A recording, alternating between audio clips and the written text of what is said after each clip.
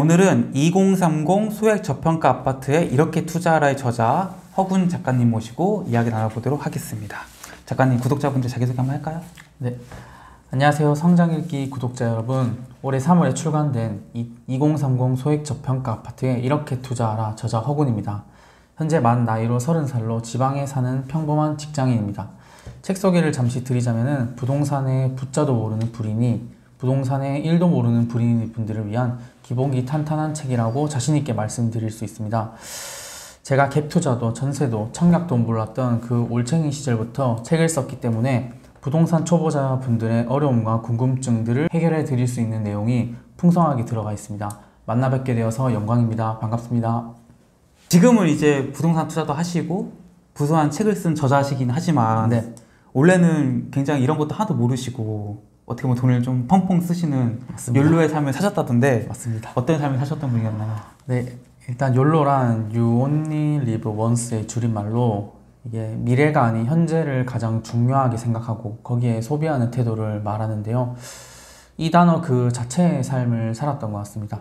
제가 작가라는 직업이 생기고 나서 느낀 것이 뭔가 저를 볼 때 고지식해 보이고 어디 틀에 갇혀 있고 절제하는 삶을 가졌을 것이라고 다들 생각하시더라고요. 근데 물론 그렇게 보일 수 있습니다. 근데 그것은 저의 일부분일 뿐입니다. 과거의 저를 되돌아보면 진짜 끔찍하거든요. 돈을 좋아하기보다 돈을 쓰기 좋아했던 사람이었습니다.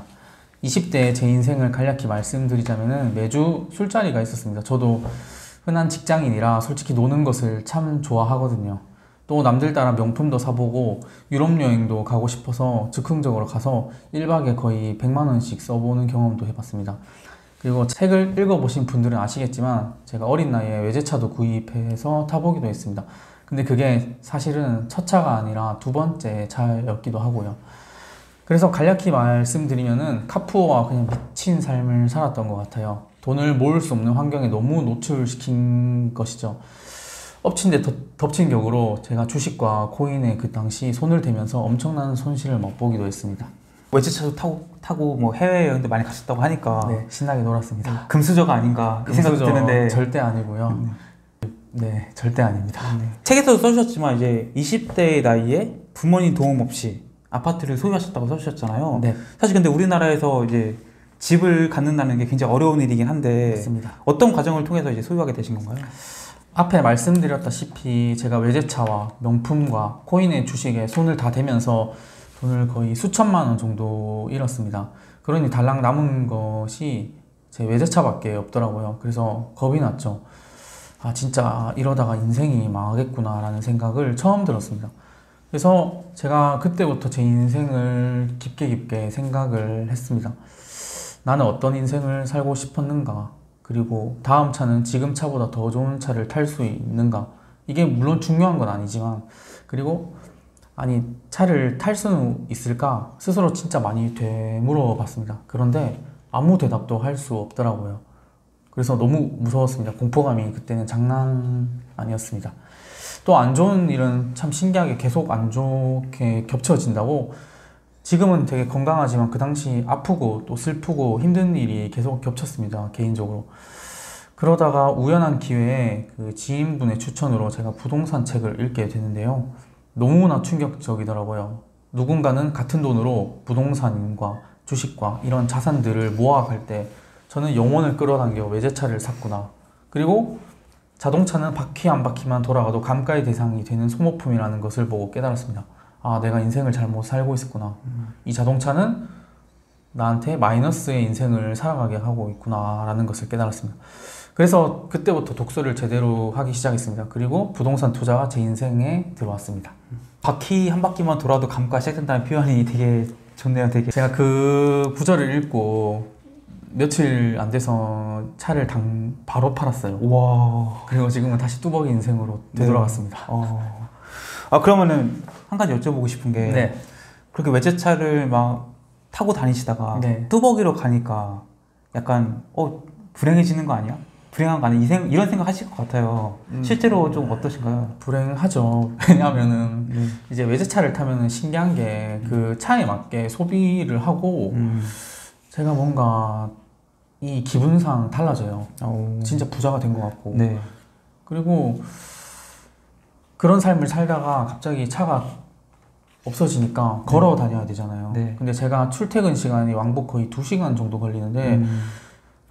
노래를 듣다가 출근하는 길에 이제 지하철을 타고 버스를 타니까 네. 답답하죠, 이게. 그쵸. 근데 이걸 제가 참 잘 해결해 나간 게 독서였습니다. 음. 제가 버스를 타면서 지하철을 타면서 이 두 시간을 어떻게 해서든 이제 유익한 시간으로 보내고 싶더라고요. 네. 왜냐면 차까지 팔았으면 제가 엄청난 각오를 나름대로 했을 거 아니에요. 그쵸. 그래서 그 시간에 정말 많은 독서를 했습니다. 음. 이제 이번 책에서 부동산 하락장에서 결국 아파트가 기회가 될 것이다. 기회다라고 말씀해 주셨는데 어떤 이유에서 그런가요? 어, 먼저 쉽게 생각해 보면 부자가 되려면 어떻게 해야 할까요? 부자를 좀 따라하고 부자가 쳐다보는 것을 같이 쳐다봐야 되겠죠. 음. 그래서 성공은 저는 모방에서 시작된다고 생각합니다. 그래서 부자들이 어디에 집중하는가 살펴봐야겠죠. KB 금융지주에서 발간된 2023년 부자 보고서라는 리포트가 있습니다.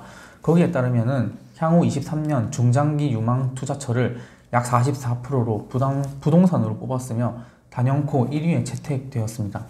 또 최근에 하나은행에서는 2024년 대한민국 wealth report라는 자료를 보더라도 투자 계획 자산을 부동산이 단연코 1위에 올랐습니다. 저는 이 레포트 두 개를 보면서 무슨 생각이 들었냐면은 아, 진짜 부자들은 정말 대중들과 다르게 세상을 바라보구나 라는 걸 알았고 네. 또한 가지는 반대로 대중들은 부자들과 정말 다르게 살고 있구나 라는 것을 알게 됐습니다.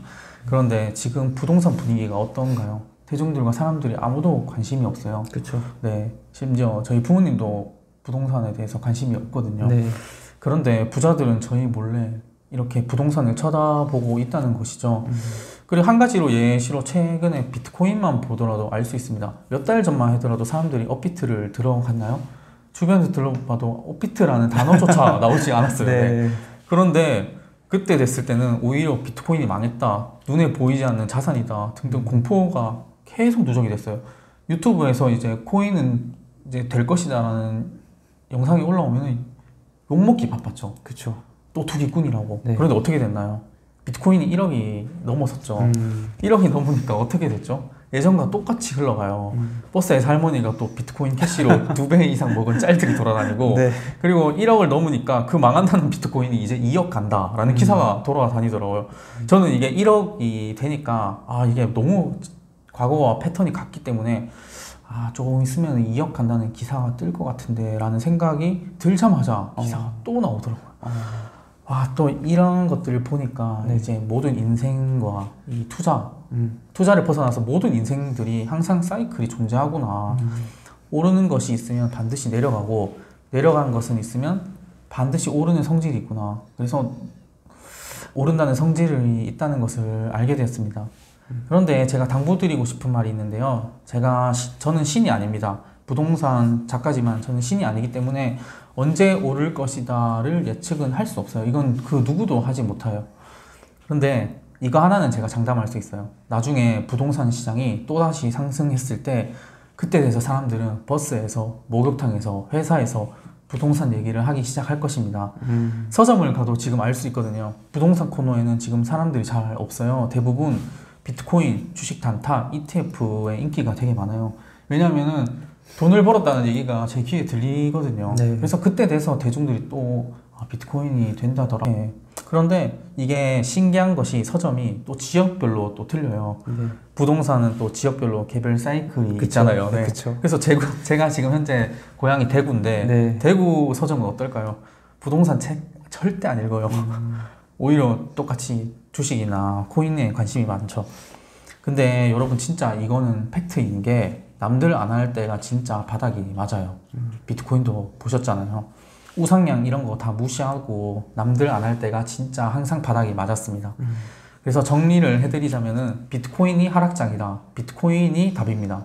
주식이 하락장이다. 주식이 답입니다. 부동산이 하락장이다. 부동산이 답입니다. 음.